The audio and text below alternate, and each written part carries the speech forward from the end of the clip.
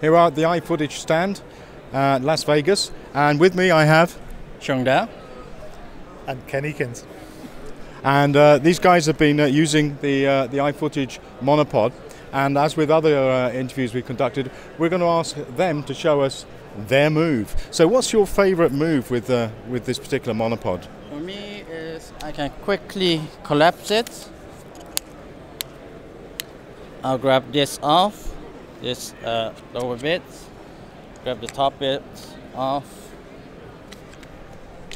and make it into a small monopod or actually a small tripod.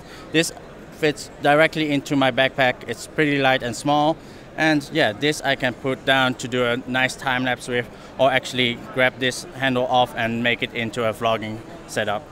That's fantastic. I timed that. That was 17 and a half seconds. So from a full-size monopod to uh, to tiny tiny pod, basically, yeah, in uh, less than 20 seconds. That's pretty remarkable. Ken, what's what's your move with the monopod? Trying to put it back together, and then uh, I'll show you. He's actually. I was going to say the same thing, annoyingly, but, but I have another move. I'm pleased you've got another move. But this is great because it works across all monopods, in all of the iFootage monopods. Um, I like to have a small camera on top of a monopod.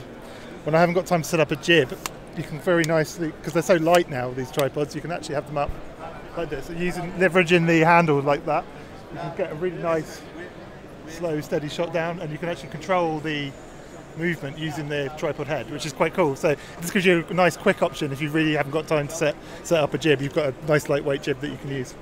Fantastic. Thanks, guys. Two essential moves for uh, our monopod users. Um, this has been Ian Wind at the iFootage stand. Thanks very much.